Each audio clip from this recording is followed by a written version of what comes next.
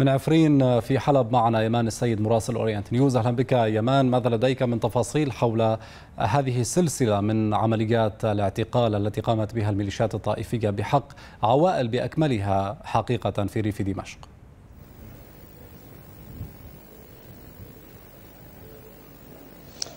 نعم وسام يعني نعم. كان الأمر يتعلق باعتقال الشبان العائدين من تركيا عبر إجرائهم للتسوية ومن ثم طبعا يتم اعتقالهم ويبقى طبعا مصيرهم مجهول. هذه المرة طبعا ميليشيا أسد تعتقل عائلات بأكملها.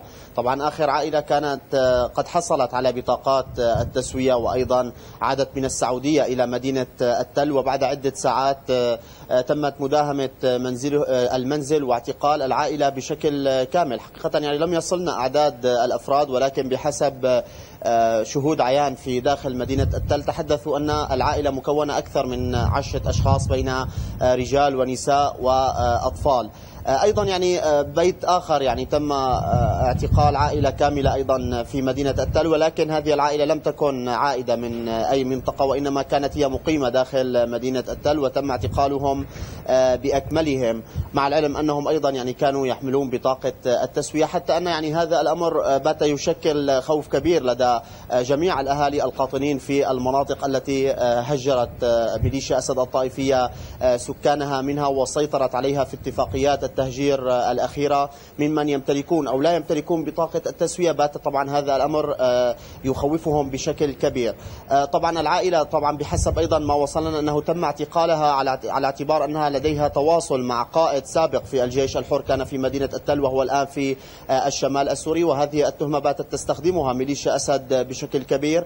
أيضا يعني عائلة أخرى هددت ميليشيا أسد الطائفية بقتلهم بشكل كامل وقتل جميع أفراد العائلة إن لم يسلموا اثنين من المطلوبين لميليشيا أسد الطائفية. طبعا هم ربما على صلة قرابة بهذين الشابين اللذين غير موجودين حتى في مدينة التل ولكن ميليشيا أسد باتت تضغط بشكل كبير على الأشخاص داخل مدينة التل وغيرها وغيرها وغير أيضا مدينة التل من أجل تسليم الشبان أو إقناعهم بالعودة. وهذا حقيقة يعني حصل وسام بعودة عدد من الشبان نتيجة إما الضغط على ذويهم داخل هذه المناطق أو حتى ترغيبهم. يعني من قبل أهاليهم طبعا بضغط من ميليشيا أسد بأن الأوضاع عادت على ما كانت عليه في السابق وحين وصولهم إلى المناطق مناطقهم يتم اعتقالهم بشكل مباشر. نعم. شكرا لك يمان السيد مراسل أورينت نيوز. كنت معنا مباشرة من مدينة عفرين